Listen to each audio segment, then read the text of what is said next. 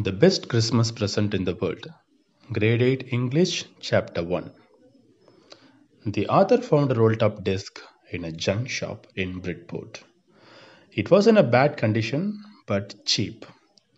He thought that he could restore it. So he bought it. He began to work on it on a Christmas Eve.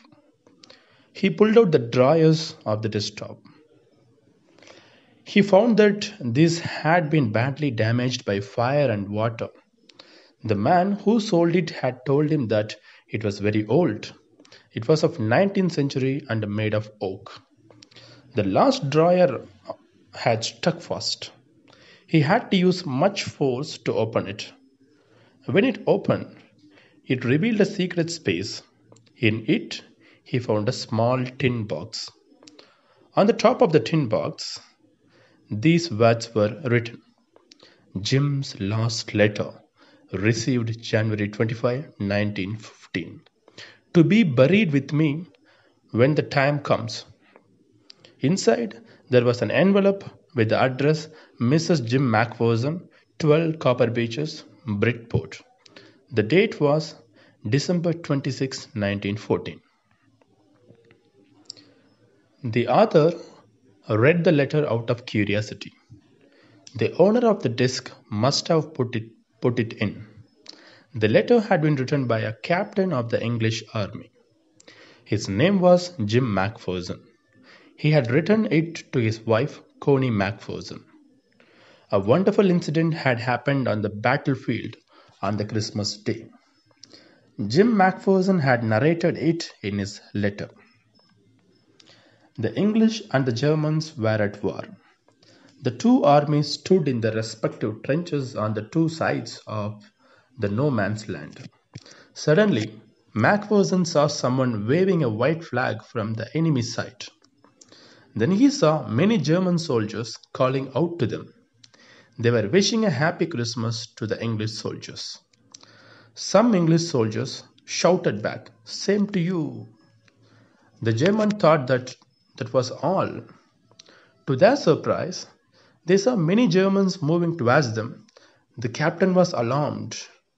It could be a trick, but it was not actually.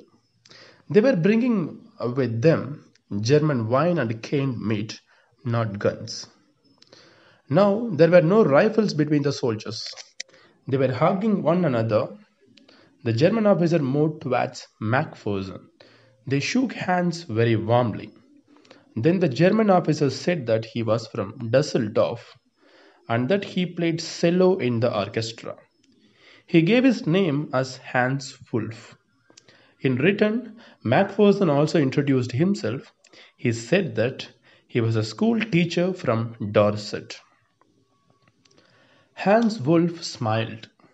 He said he knew Dorset. In fact, he had never been to England, but he knew English. His favorite writer was Thomas Hardy. His favorite book was Far from the Madding Crowd. It was from there he had learnt all about Dorset.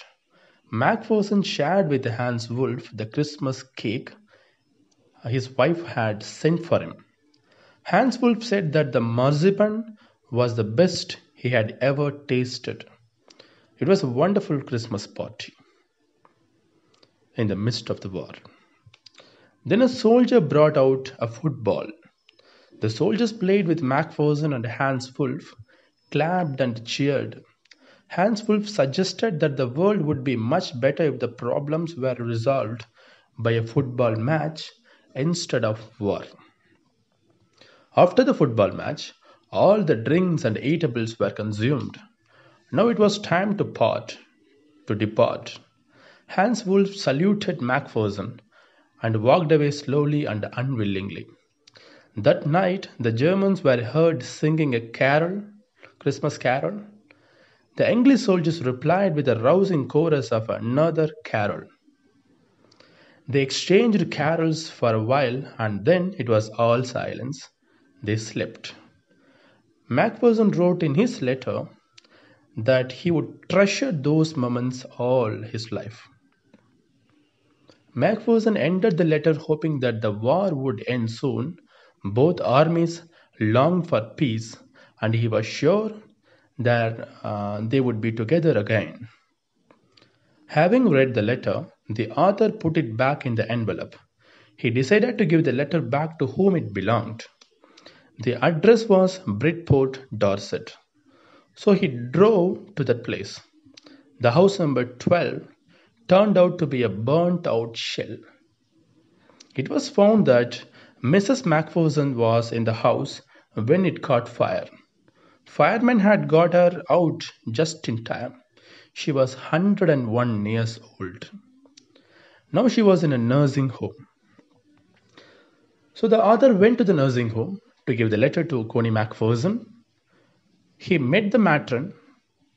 She told the author that uh, Mrs. Macpherson was rather confused that day.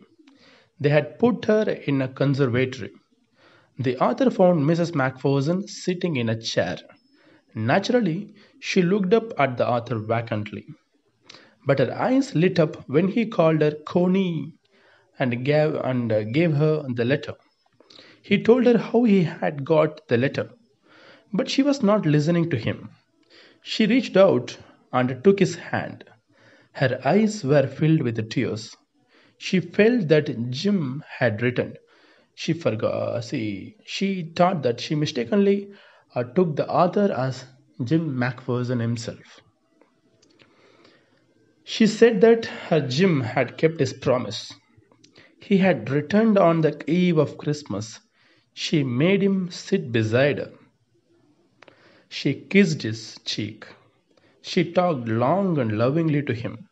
She said that she had got the best Christmas present in the world.